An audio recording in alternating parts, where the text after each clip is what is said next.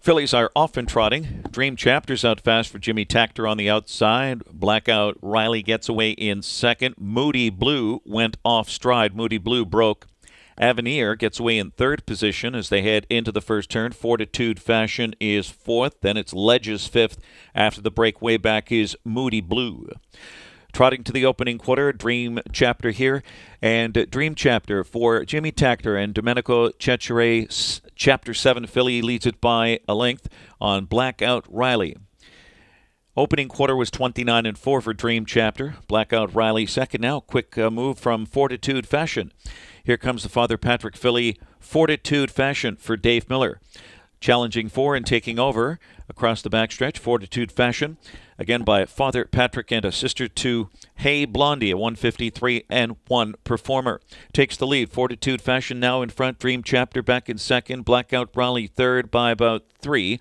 Then comes Ledges and Moody Blue and way back Avenir, who made a miscue. 59 and 3. Uh, 29 4 again. The whip up on Fortitude Fashion here onto the far turn. Stalked by Dream Chapter in the second spot with three eighths to go. Blackout Riley gaps in third. Moody Blue is fourth. And way back is Avenir off stride again. Ledges also off stride again. Over by three quarters, Fortitude Fashion. Looking poised in the pocket is Dream Chapter. Here comes Dream Chapter now. At three quarters in 129. Uh, Fortitude Fashion. Uh, Dream Chapter on the outside is looking to take the lead. Dream Chapter and Jimmy Takter now drawing clear from Fortitude Fashion. That's Blackout Riley with late kick on the outside, and then it's back to Moody Blue with a 16th to go. Dream Chapter by Chapter 7 with Hall of Famer Jimmy Takter at the lines.